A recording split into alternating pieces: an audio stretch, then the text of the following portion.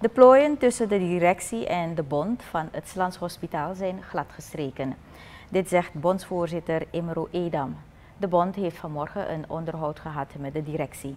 De bond was ontevreden over de wijze waarop er gecommuniceerd is met het verplegend personeel ten aanzien van het COVID-19-virus en de patiënten die in het hospitaal zijn ondergebracht. Edam zegt dat hij gebruik heeft gemaakt van de gelegenheid om te vragen naar de achterstallige gelden. Het gaat hierbij om een TWK en de prestatietoelage. Maar u moet weten, het, gaat niet alleen, het blijft niet alleen over veiligheid hoor. Dat moet ik me haasten om dat te zeggen.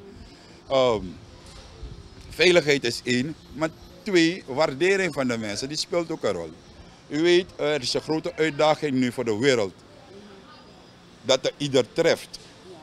Maar meer, de gezondheidszorg. Wij kunnen niet uit de weg gaan voor de gezond, uh, gezondheid of ten aanzien naar de hulpbehoevenden toe. Maar dan willen we ook niet opgescheept hebben met achterstallige gelden. Ook. Dus één keer hebben we dat ook meegenomen. Zeg van oké, ook al gaan we praten over veiligheid, maar houdt u rekening, de achterstallige gelden hebben we één keer nodig. We willen geen verhaal meer gaan horen, zeg van houdt u rekening volgende week of volgend maand. Uh, het is gisteren duidelijk gemaakt aan de minister, die heeft ook zijn uiterste best gedaan om de zaken uh, in orde te maken. En vanmorgen weer bij de setting met uh, de directie, als u mij vraagt, is het wel een vruchtbaar gesprek geweest.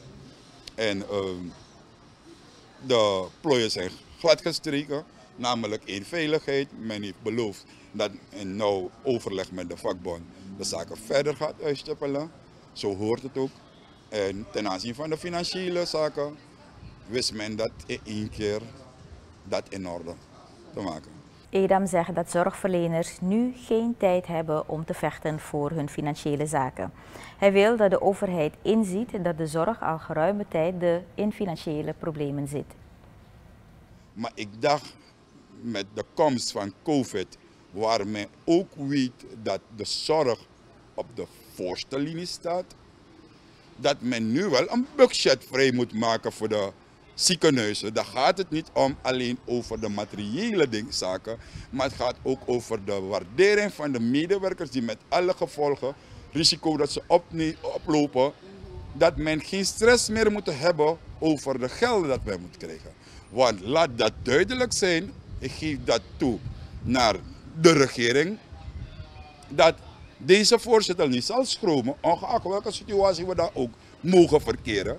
Wanneer het zo gaat over de mensen hun financiële zaken, dat we niet zullen schromen om in actie te gaan. Ondanks een epidemie of wat voor uitbraak dat we ook hebben.